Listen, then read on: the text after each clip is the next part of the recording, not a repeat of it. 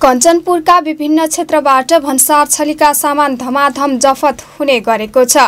सशस्त्र प्रहरीले मात्र जिल्लाका विभिन्न स्थानबाट गरी एक वर्षको अवधिमा तीन करोड रुपियाँभन्दा बढीका अवैध सामान बरामद गरेको हो। गत आर्थिक वर्ष दुई हजार उनासी अस्सीमा सशस्त्र प्रहरीले ठुलो मात्रामा चोरी तस्करीका सामान बरामद गरेको हो।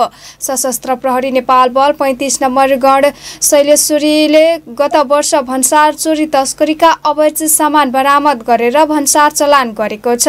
गढका गणपति सशस्त्र प्रहरी उपरीक्षक प्रेम बहादुर रावलले गणसहित मातहत रहेका बोर्डर आउटपोस्ट मार्फत भारतबाट चोरी तस्करी गरेर ल्याएका अवैध सामान बरामद गरेर भन्सार चलान गरिएको बताएका छन्।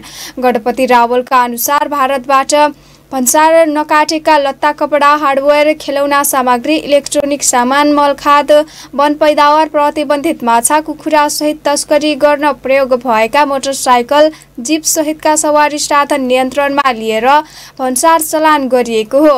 साउन यता मात्रै सशस्त्र प्रहरीले तिस लाखभन्दा बढीका अवैध सामान नियन्त्रणमा लिएर भन्सार चलान गरेको छ।